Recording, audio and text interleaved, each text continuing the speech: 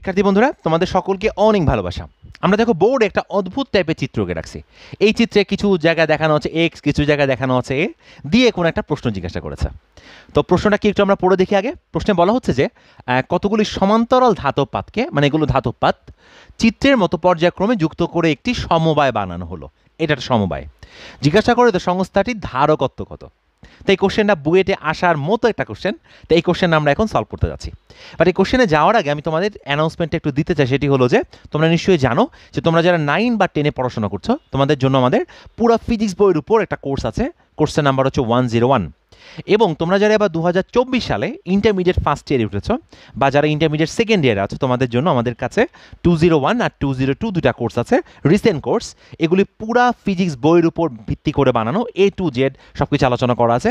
আর যারা admission candidate that mean যারা বুয়েট বা ঢাকা ভার্সিটিতে পরীক্ষা দিতে চাও, তাদের জন্য দুশো তিন নাম্বার হচ্ছে আমাদের অ্যাডমিশন কেন্দ্রিক কোর্স তো তোমরা আমাদের এই কোর্সগুলোর ডিটেলস আমাদের ডিসক্রিপশন বক্সে উপরে বা নিচে পেয়ে যাবা। তোমরা যারা যারা আগ্রহী, তারা অবশ্যই কোর্সে অ্যাডমিট হও। কোর্সগুলো সুপারভাবে সাজানো আছে এবং তোমরা সবসময় আমাদের সাথে কানেক্টেড থাকতে পারবে।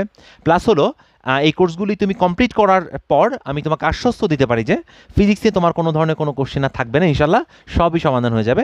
প্লাস অন্য কোনো টিচার বা কোচিংয়ের কাছে অযথা সময় নষ্ট করে দোষাপ করার দরকার হবে না। তাহলে চলো আমরা একটু কোশ্চেনটা সলভ করার চেষ্টা করি।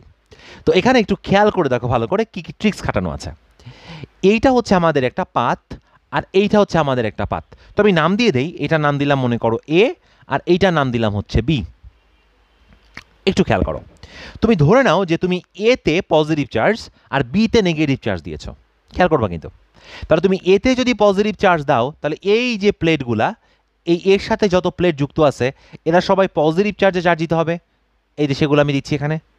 এই প্লেটগুলো সবাই এর সাথে কানেক্টেড তাহলে এর সাথে কানেক্টেড যতগুলা প্লেট সবগুলো প্লেট প্লেটের ভোল্টেজ সেম সবগুলো প্লেটের কিন্তু চার্জও একই। এটাও আমাদের এর সাথে লাগানো প্লেট ওকে, গেল। তাহলে মোট এক, দুই, তিন, চার, পাঁচ, পাঁচটা প্লেট লাগানো আছে এর সাথে। আর বিতে যদি আমরা মাইনাস চার্জ দেই, কারণ স্বাভাবিক, এতে তুমি যদি প্লাস চার্জ দাও, তাহলে অবশ্যই বিতে কিন্তু মাইনাস চার্জ তোমাকে দিতে হবে। তাহলে বিতে মাইনাস চার্জ দিলে আমাদের এই পাত মাইনাস চার্জে চার্জ দিতে হবে। এই পাত মাইনাস চার্জে চার্জ দিতে হবে। এই পাত মাইনাস চার্জে চার্জ দিতে হবে। এই পাত মাইনাস চার্জে চার্জ দিতে হবে। এবং তোমরা নিশ্চয়ই এতটুকু জিনিস অন্তত পক্ষে জানো যে একটা ধারক হওয়ার জন্য কি করতে হয়? একটা ধারকের, আমি যদি এইটার ক্ষেত্রফল এ বলি, আর এই দুইটার মধ্যবর্তী দূরত্বকে যদি আমরা ডি বলি, দুইটা প্লেটের, আর এই পাতে মনে করো পজিটিভ চার্জ আছে, এই পাতে মনে করো আমাদের নেগেটিভ চার্জ আছে। তাহলে বলো তো, এইটুকু জায়গার ধারকত্ব কত হয়? এটার এক্সপ্রেশনটা ছিল A epsilon naught divided by d কারণ এখানে আমাদের ভেতরে যেহেতু বায়ু, কোনো পরাবৈদ্যুতিক মাধ্যম নেই, এই কারণে কোনো কে বা কাপ্পা জাতীয় কোনো রাশি এখানে আনা হয় নাই। তাহলে তোমাকে যদি আমি প্রশ্ন করি যে বলো তো এখানে কয়টা ধারক আছে?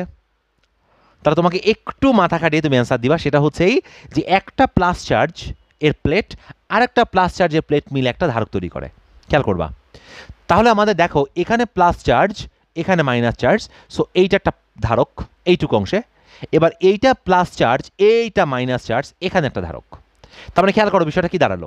এই পজিটিভ প্লেট এই পজিটিভ প্লেটের মাঝখানে যখন আমি একটা প্লেট ঢুকাই, তখন আমাদের দুইটা ধারক তৈরি হয়ে যায় আসলে। এখানেও সে একই কথা। এবার এই পজিটিভ প্লেট আর এই নেগেটিভ প্লেট মিলে আরেকটা ধারক। এই নেগেটিভ প্লেট এই পজিটিভ প্লেট মিলে আরেকটা ধারক। এই পজিটিভ প্লেট এই নেগেটিভ প্লেট মিলে আরেকটা ধারক। এই নেগেটিভ প্লেট এই পজিটিভ প্লেট মিলে আরেকটা ধারক। এই পজিটিভ প্লেট এই নেগেটিভ প্লেট মিলে আরেকটা ধারক। এই নেগেটিভ প্লেট এই পজিটিভ প্লেট মিলে আরেকটা ধারক। তাহলে গণনা কয়টা ধারক আছে অ্যাকচুয়ালি এক, দুই, তিন, চার, পাঁচ, ছয়, সাত, আট। তার মানে এখানে আটটা ধারক আছে। আটটা কি আছে বলো তো আটটা ধারক আছে। খেয়াল করতে হবে। এই আটটা ধারক সিরিজে যুক্ত আছে না প্যারালাল যুক্ত আছে, এইটা এখন তোমাকে একটু মাথা কাটাতে হবে। তাহলে তার জন্য তুমি চিন্তা করো, কথাটা খেয়াল করো। তার জন্য চিন্তা করো, এই যে পজিটিভ প্লেট যতগুলো আছে, এই যে পজিটিভ প্লেট তারপরে এই যে পজিটিভ প্লেট এই পজিটিভ সবগুলো প্লেটের ভোল্টেজ একই, আর এই নেগেটিভ সবগুলো প্লেটের ভোল্টেজও কিন্তু সেম তার মানে হলো, কথাটা বুঝো, তার মানে হলো, এই যে মাইনাস যতগুলো প্লেট আর প্লাস যতগুলো প্লেট এটা একই বিভব পার্থক্যে লাগানো আছে। আর একই বিভব পার্থক্যে যদি আমাদের মনে করো এটা আছে এইটাকে বললাম এ, এটাকে বললাম বি, তাহলে এই প্লেটটার নাম, এটার নাম বি, এই যে এটার নাম বি, এই যে এটার নাম বি এইটার নামও বি। আর এগুলো সব হচ্ছে এ, এই যে এগুলো সব হচ্ছে এ। তাহলে তুমি চিন্তা করো তো, এই যে এ প্লেট আর বি প্লেট সবাই এইভাবে যুক্ত করা হয়েছে না? এই যে এভাবে? তাহলে এ প্লেট আর বি প্লেট সবাই যদি এইভাবে যুক্ত থাকে যে এগুলো সব এক পাশে আর বিগুলো সব আর এক পাশে, তাহলে এই ধরনের কানেকশানকে আমরা বলো তো, কোন ধরনের কানেকশান বলব? এটা অবশ্যই একটা প্যারাল কানেকশান তার মানে এখানে আমাদের আটটা ধারক সমান্তরালে যুক্ত আছে। সমান্তরালে যুক্ত আছে। এবং যে সমান্তরাল সমবায়ের প্রতিটা প্লেটের ক্ষেত্রফল হচ্ছে ফাইভ সেন্টিমিটার স্কোয়ার আর ফাইভ সেন্টিমিটার স্কোয়ারকে কি বলা যেতে পারে?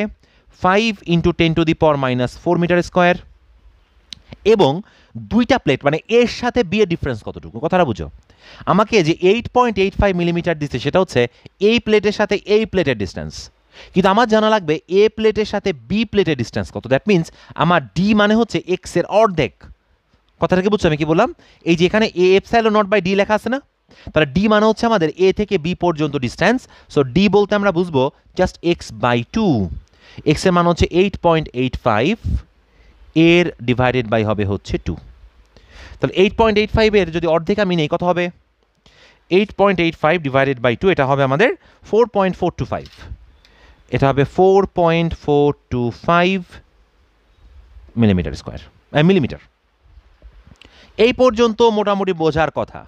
এবার তোমাকে যখন প্রশ্ন করা হবে যে এখানে যতগুলো ধারক, আমরা দেখতে পাচ্ছি প্রত্যেকটা ধারকের ধারকত্ব কি সেম অ্যান্সার হচ্ছে অবভিয়াসলি সবগুলো ধারকের ধারকত্ব সেম কারণ এরা প্রত্যেকে দেখো একই পরিমাণ এরিয়া আর একই পরিমাণ ডিস্টেন্স পর পর পর পর সাজানো আছে।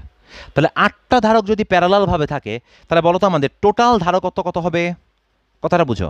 তাহলে টোটাল ধারকত্ব সি ড্যাশের মান হবে হচ্ছে আট ইন্টু সি যেখানে সি হচ্ছে একটা ধারকের ধারকত্ব। আর সেই একটা ধারকের ধারকত্ব হচ্ছে A epsilon naught divided by d that's it এখন আমার মান দশায় দিলে হয়ে যাবে। তাহলে বলো তো আমাদের এর মান কত দাঁড়াবে? এর মান হচ্ছে যেটা five into ten to the power minus four এটা হচ্ছে এ আর এফসাইলো নটের মান তো আমরা জানি eight point eight five four ten inverse twelve by d এর মান হচ্ছে four point four two five millimetre.